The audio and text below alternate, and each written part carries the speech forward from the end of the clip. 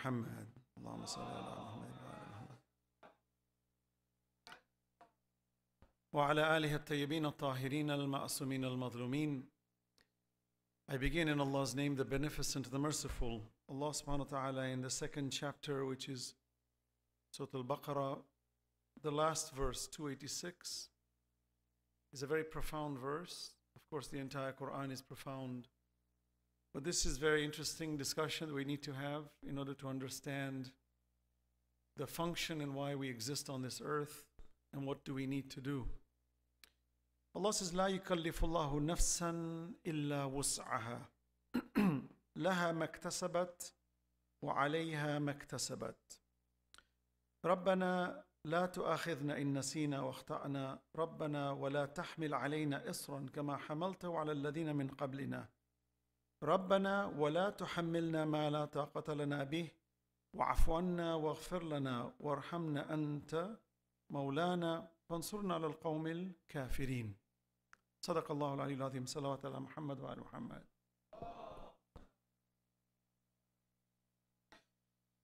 Translation. Allah does not impose upon any soul a duty but to what they can handle, but to their ability. For it is the benefit of this soul of what it has earned and upon it what it has lost. Meaning, when you commit good, it's for you.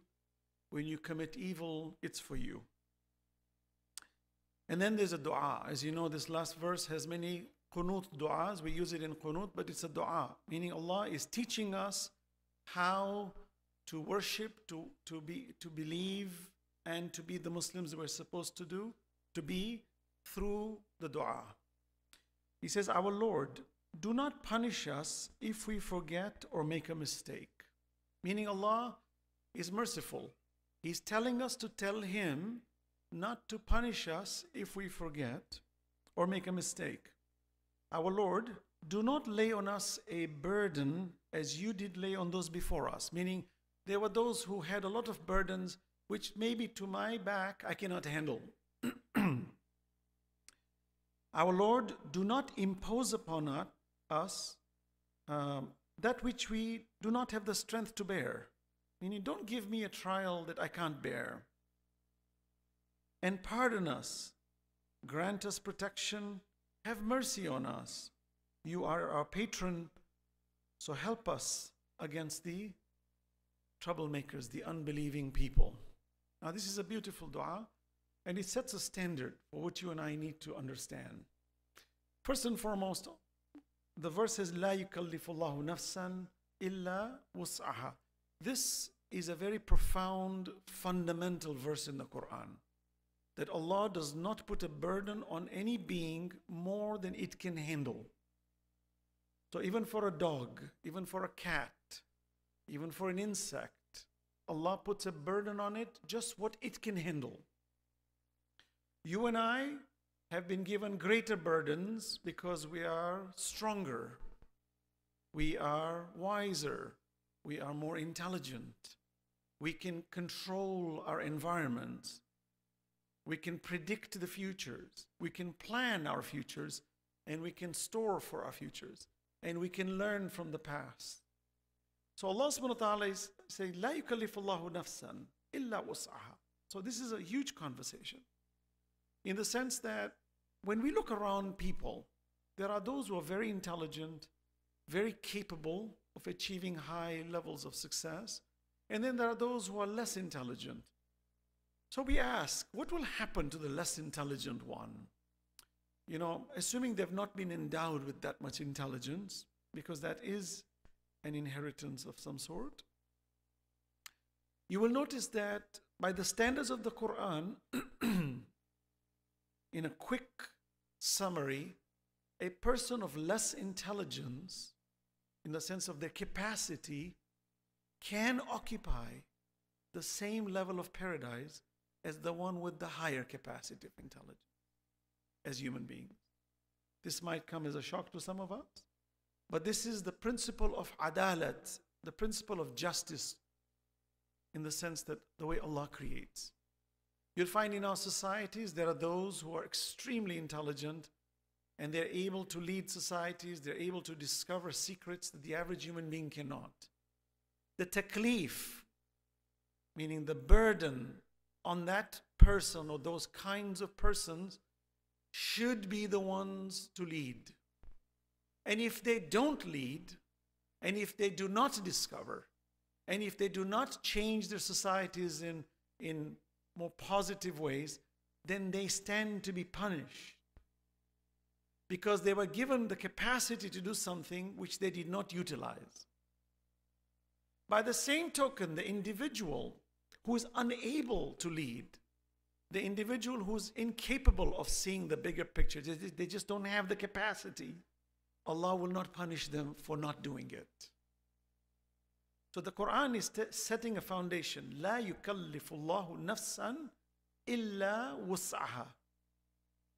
What you and I need to do in our lives is to recognize and realize what is our potential.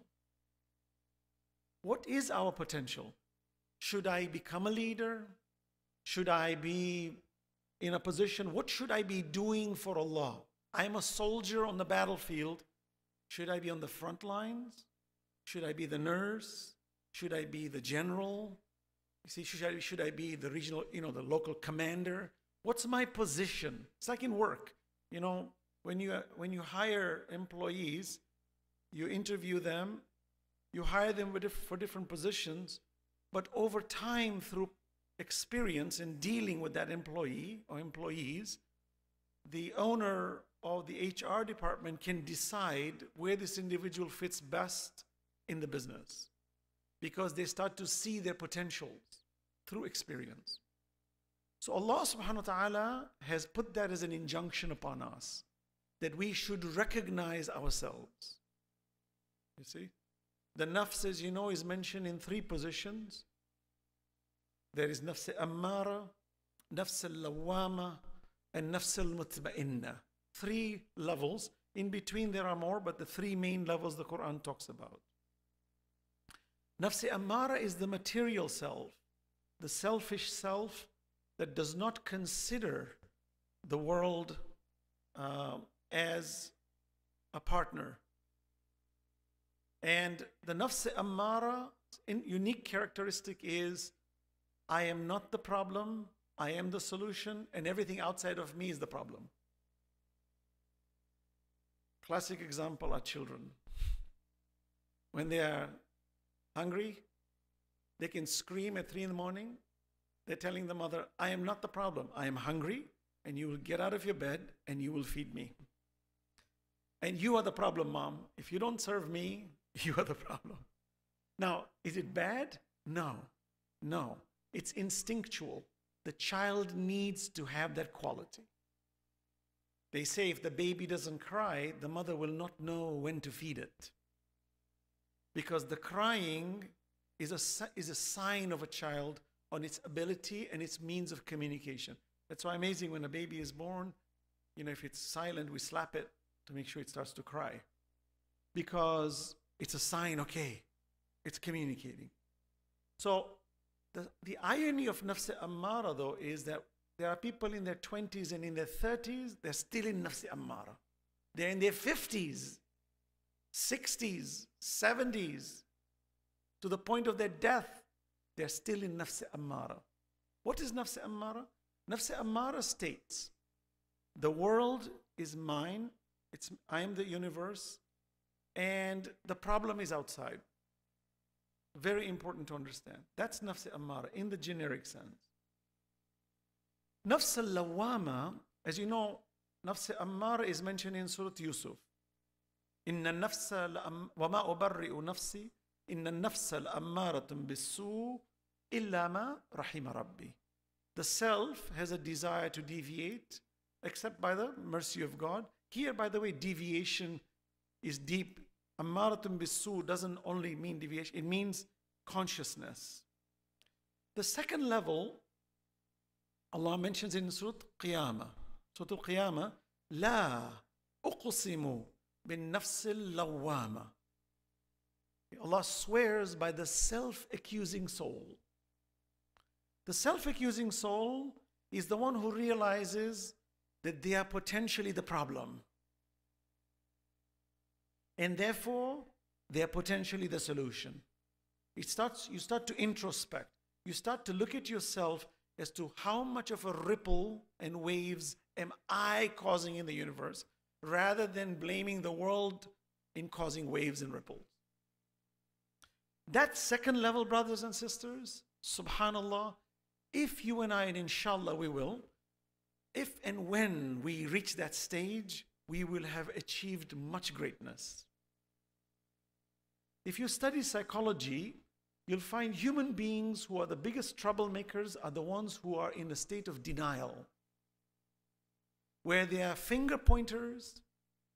I've seen that, by the way even in day-to-day practices in business, even at the schools, parents will come and say the school is bad, the weather is bad, the books are bad, the surrounding is bad, the teachers are bad, everybody's bad. But you say, well, your child is bad. No. You're bad. No. Potentially you're bad. No, impossible. There's nothing wrong with me. That state is a very ignorant state. We call that compound ignorance. It's when you're ignorant about your ignorance. That's the worst state to be, by the way.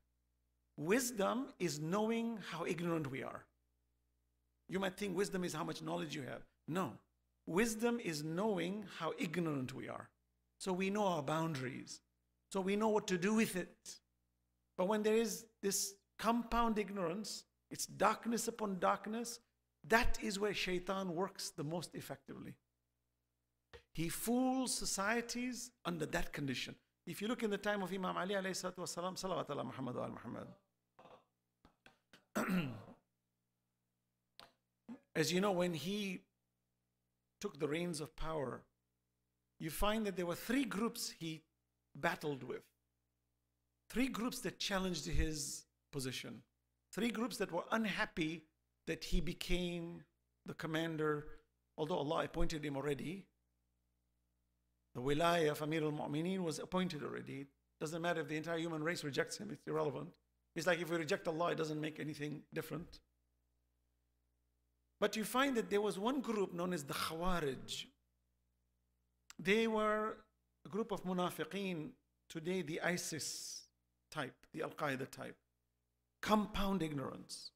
They are so ignorant, their levels of ignorance are at so many layers that if you say anything, it can and will be used against you. And to talk to them is very, very difficult. It all depends on their mood, on what side of the bed they woke up on. But they look very pious. In fact, in Nahrawan, when Imam Ali was fighting them, the soldiers on Imam's side were stunned as to how pious the other side looked. They looked very religious. But Imam says, don't be fooled by that. They're living in, in intense ignorance. They use religion to hold on, but they use the same religion to destroy the very thing they hold on to. And they say ignorance is so dangerous. The Prophet said the most sick quality of a human being is when they're in a state of jahiliyyah, ignorance. How do you get out of ignorance? You have to introspect. You have to gauge. If you look at the law of nature, our young generations, when they're growing up, you will find that they are more loyal to their friends than to anybody else. They are more loyal to their friends than their parents. Now, there's nothing wrong with that. At that moment, the reason is not because they don't honor the parents. They're in that growth stage where they're reflecting upon themselves through people of the same group. They are in a state of self discovery. So, teenagers and preteens, adolescents are in that stage of getting to know themselves. And they see adults and parents as their future, but at the present, they don't know who they are. They want to know, they look at themselves in the mirror and they want to know Am I normal? I have these habits. You know, I have certain habits. Is it normal? I don't know. And then you find they start to imprint and they start to copy friends. So there is always within the group of friends, if you study human so- social behavior, there's always one who's a trendsetter. In a group, you'll always find somebody in that group setting decisions, dictating where the group is going to go and what they're going to do. They're basically the mind and the emotion of the whole group. When I deal with kids and teenagers, even adults, I keep a careful eye on the trendsetters. Those are the captains of the group. Even when we have our kids at the camp and the groups come in, I watch who's the leader, who's the one who sets the trends, because that's the one you've got to watch the most. The rest will just follow. It's the trendsetter who can create trouble, and it's the trendsetter that can bring harmony. How do you get to the trendsetter? How do you get to the captain of that group? You see? So that's another aspect of this conversation. But all that, all those who follow, follow because they need some identity. They need some validation. They want security. If you ever want to really, really put a child in a precarious situation, in a very uncomfortable situation, it's when their friends drop them. They no longer talk to them. It's like they were left in the middle of the desert. Mom can come and hug them, dad will hug them, but deep down, somebody of their own kind has violated them and they will have a scar in them. That's why it's very important for us to maneuver and manage how our children develop their self worth. You find children who've committed suicide, sadly, due to cyberbullying. They've never met the other person. But they have bashed them, called them ugly, say, called them names, put them in bad situations, or taken videos that they edited and made them look bad and it went viral. And they could never reclaim their honor again because now it's spreading out in the cyber world and Reddit has copied it and it's waiting to be pulled forever. You know how dangerous that is? This is why Quran said, لا يغتب بعضكم بعضا. Do not backbite. أيحب أحدكم أن يأكل لحم أخيه ميتا فكرهتموه. Do you like to eat the flesh of your dead brother? It's disgusting. But we do that. Why do we do that? This is a discussion in itself. Our children, when you see them, many of them, they lack confidence. Fathers come to me and mother says, My son doesn't want to pray. He stopped believing in God. He doesn't. I said, Stop. There must be a reason. Every child is born pure. الذي أحسن كل شيء خلقه. Allah creates everyone pure and beautiful. This child must have been victimized somewhere. Something must have struck them. And therefore, they took it to heart in a serious way. And it is building in their subconscious and in their unconscious. And what it's doing is that it's manipulating them. And if you plug that, think about the potential of a child was massive and he just got stumped to a smaller potential. You know how debilitating that is? The taklif capacity was debilitated because we look down upon them. I have met children who's sadly, and we must take a lesson on this. It, it, it's very depressing when I hear this. It's because of ignorance, because jahiliyyah. You want to see the damages of jahiliyyah? You go into the nuclear family of every society and you will see somebody's hurting somebody. And if you talk to them, they don't mean it. Exactly. Because jahiliyyah will destroy and you don't know why you've destroyed it. This girl comes crying to me. She's extremely overweight. She says, Brother, you know why I'm like this? From childhood, my father always called me ugly. Since the day I was born, he never wanted to spend time with me, and he's called me ugly. And I looked at her for the first time. I said, If you want to put a knife in somebody's heart and rub it, you do that. How would a father say that? Because of jahiliyyah. And then we come and say, My child doesn't want to do this. My child is, I'm not, I'm not, by the way, I'm not blaming the parents. It could be outside forces. It could be something that we didn't even pay attention to. It could be our school. It could be the school the child is going to. You know how many children get bullied every single day? You know the kind of subtle bullying that takes place? It starts from very subtle smirks, but it adds up. Eventually, it leads to violence, literally grabbing the child, putting their heads in the toilet, smashing their heads, and they can't say a word because they're afraid the bully will bully them more should they say that. All of this bala is upon us. We cause it. Allah says, Inna Allah la yadlim an-nasa shay'an, walakin an-nas anfusahum yadlimun. God does not harm a human being even an iota. It's humans who harm themselves. So we have an obligation in this month of Ramadan. When Allah says, شهر رمضان الذي أنزل فيه القرآن هدى للناس وبينات من الهدى والفرقان. It is Al-Furqan, the Quran. We don't spend much time to understand that the Quran has vociferously, with incredible amount of force, told us, do not bully. يا أيها الذين آمنوا لا يسخر قوم من قوم عسى أن يكونوا خيرا منهم ولا نساء من نساء عسى أن يكون خيرا منهن ولا تلمزوا أنفسكم this, These verses, verse 11 and 12 of Surah Hujurat, which is Surah number 49, read it. Make it an article of faith to recite it. All our young brothers and sisters should read it, walk it, talk it, have zero tolerance for any form of bullying because you are stunned. You're stunning the growth of this nafs that needs to reach nafs al mutma'inna. When I see children, they don't want to pray, they don't want to fast, they've lost faith, or they don't want to come to the masjid or to the centers, you see. Unfortunately, you come and I go lecture around the world. We find in some places, mashallah, is a big, vibrant young generation. In some communities, it's just the old generations. Why? What went wrong? Oh, you know, the young children, they're so excited to do other things. I said, Walt Disney figured it out.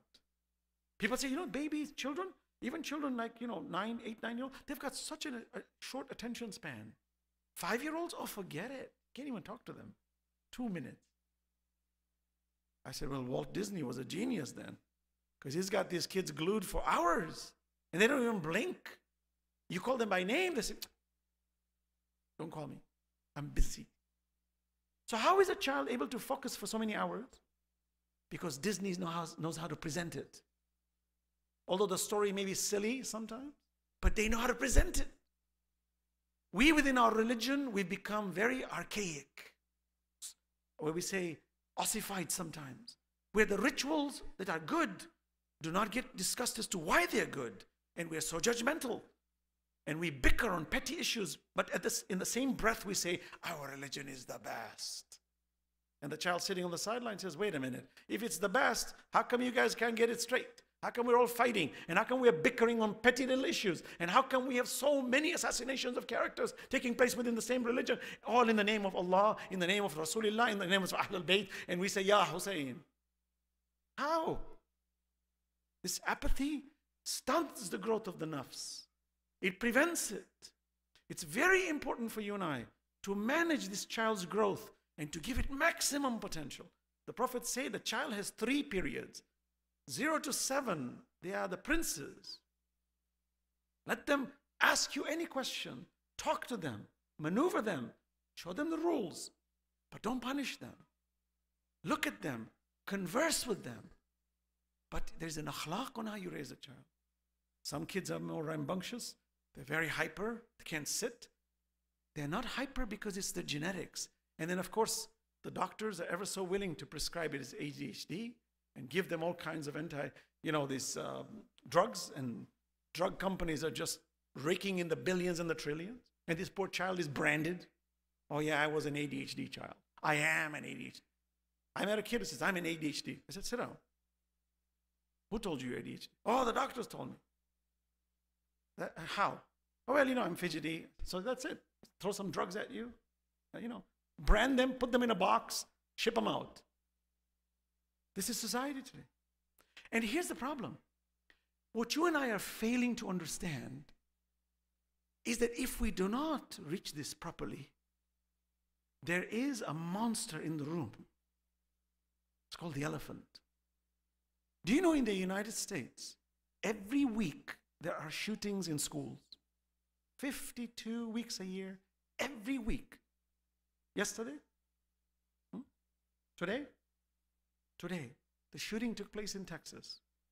Fort Myers. 10 people killed, 10, peop 10, 10 kids, you know, adults, kids. The shooting. You've got one side of the divide in Washington arguing by the NRA that guns are good for you. We're a very democratic nation, but you got to hold a gun like the Wild Wild West because you don't know who's going to attack you in a democratic country because we're very civil. And it's not enough to have a gun. Let's have the ones with the, you know, with the bumper stock on it, and so that I can kill 50 people at one time, like what happened in Vegas. And we'll argue it's needed, very important.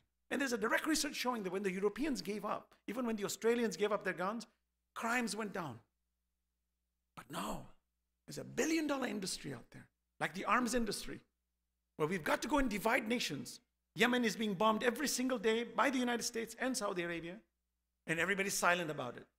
But we're very democratic. You know, we care for humanity. In Gaza, people are being bombed left, right, and center. But we are arguing about border dispute. There are no borders. There's no such thing as a border dispute. There are no borders. The borders are much narrower than what you think they are. But no one's talking. Our children are watching all this hypocrisy and they're confused. They're angry. And all it takes is a little YouTube video to trigger you. And the kid starts amassing guns because they can buy, they can get it for very easy. And then they've got anger with the teacher. I mean, Columbine, from what I understand, a kid was dating a girl and he said no to him and said, okay, I'm going to shoot you now. I mean, is that how it works? Why are our children holding guns and killing? Can you imagine going to school where you have to go through metal detectors and you got policemen all around like a prison? What kind of an educational institution are we going to become in the future? All of this is because we have stopped looking at the nafs. We have proposed an idea of compound ignorance as the status quo of society, and we do not want to discuss such matters. Religion has become a place where we come and recycle our faiths, but there's minimal conversation as to the values. And I deal with so many youth in the world today and adults who come to me and say, I'm a borderline agnostic, I'm an atheist, or I'm losing faith, or I've stopped praying, I'm still a Muslim, I don't know, I'm not convinced, blah, blah, blah, blah, blah, blah. And I look at them, I said, you know, I'm not going to blame anybody. If anybody, I'll blame me. Maybe I'm not vocal enough. Maybe I need to be better, 100 times better. No doubt. But between us, this blessed month of Ramadan is a gift of Allah to solve this problem. People don't realize that when we get together and have iftar together and we recite dua al-iftitah and we have discussions and we fasted the whole day and you encourage this child to hold on to your free will. There is value in this. You are somebody. You're not ugly. You're not fat. You're not stupid. I have zero tolerance for people who look down on others. I have zero tolerance for people who bully others. You know, it's haram. Allah says you're committing a grave sin, stopping the growth of a child. Today, our children lack that confidence. But the minute you sit with them and you look at them positively and you say, No, oh no, you are very important. You are somebody. And whatever shape you are, circle, square, triangular, I don't care. I like you the way you are. And you're going to grow the way you deserve to grow. That's the deen of Allah. Salawat ala Muhammad wa ala Muhammad.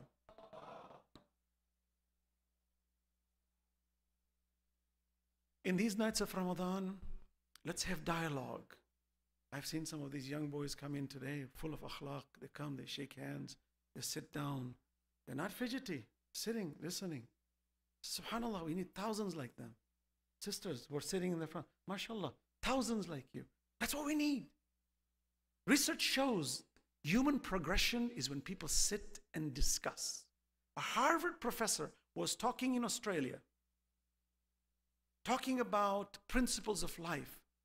And majority of the audience were university students. They were glued to this professor, glued, pin drop silence.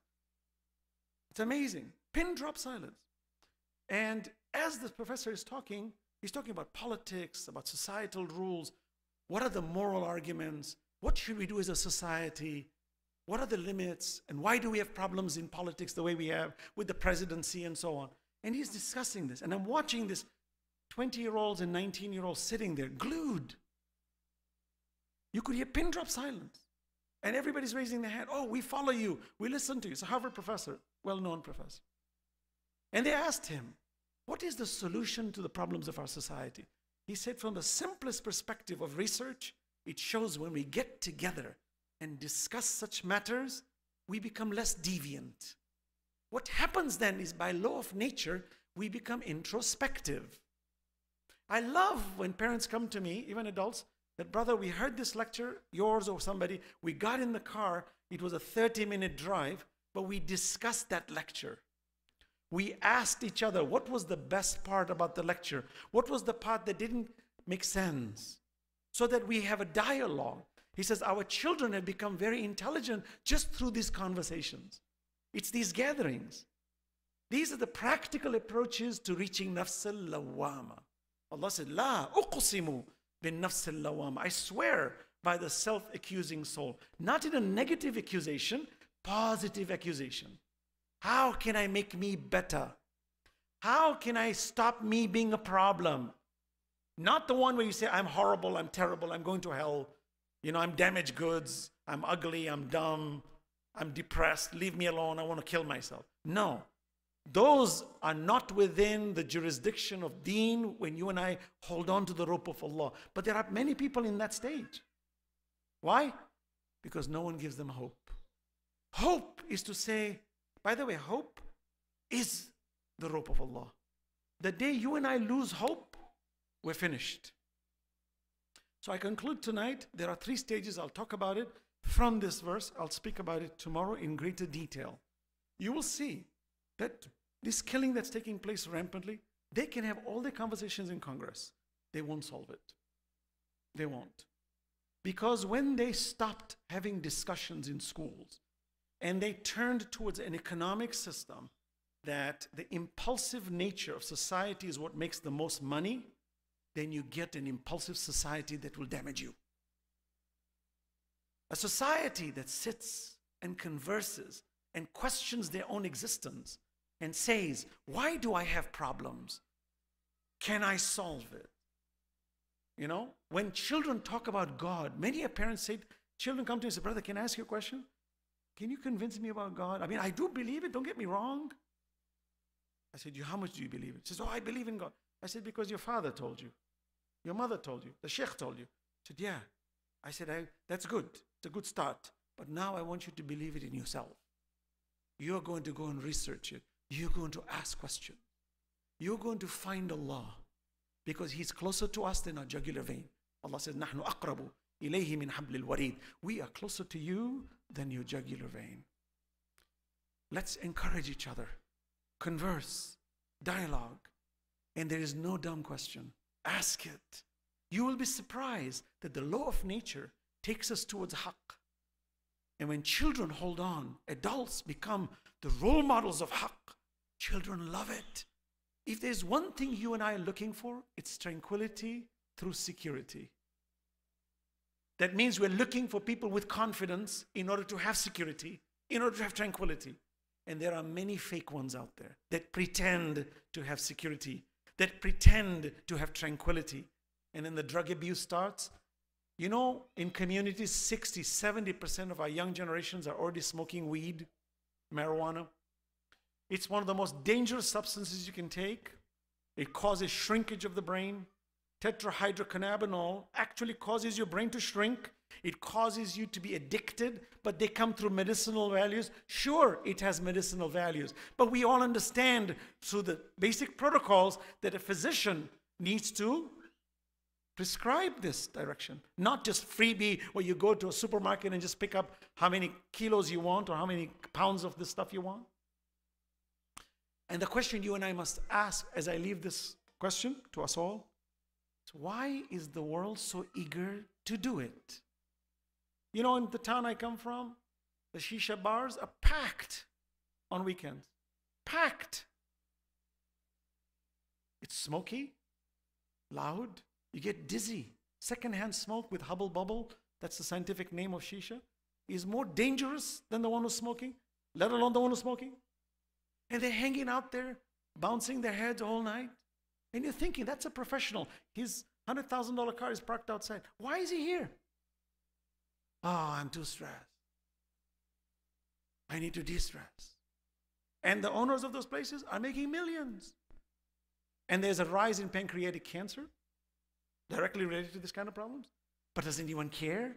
No, because there's no solution to the problem. We're all cycling ourselves to become rich and powerful and secure, but there's no goal in it. It's cyclical, so it becomes empty. The more you buy, the more you do, it's empty. Allah says, "Ala bi qulub." When you have dhikr of Allah, you have eternity. You have goals. بل تؤثرون الحياة الدنيا والآخرة خير وأبقى you love this world, but the hereafter is better. It's perpetual and forever. But how can it be forever without Allah? So Allah says, when you do my dhikr, then your souls will come at rest. And when you keep practicing nafs al-lawwama, I conclude, inshallah, we will become nafs al-mutma'inna. Who's nafs al-mutma'inna? In Surah Al-Fajr. Ya ayyatuha nafs al-mutma'inna.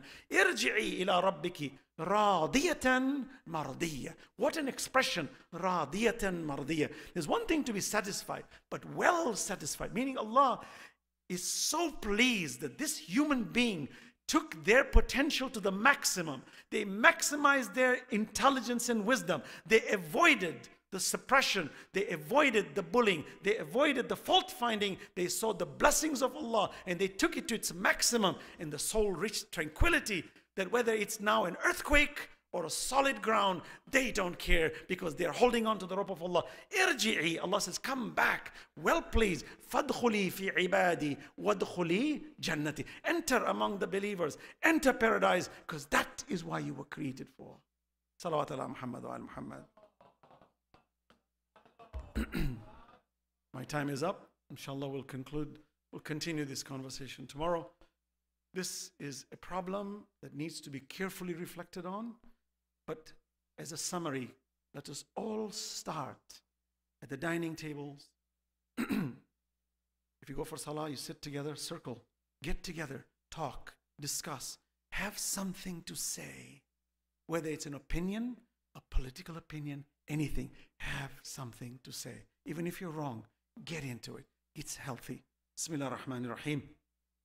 اللهم أنا نرغب اليك في دوله كريمه تعز بها الاسلام واهله وتذل بها النفاق واهله وتجعلنا فيها من الدعاة إلى طاعتك والقادة إلى سبيلك وترزقنا بها كرامة الدنيا والاخرة ربنا اغفر لنا ولاخواننا الذين سبقونا بالايمان ولا تجعل في قلوبنا غلا للذين آمنوا ربنا إنك رؤوف رحيم وآخر الدعوه الحمد لله رب العالمين والسلام عليكم جميعا ورحمة الله وبركاته. I'd like to wish you all Ramadan Mubarak.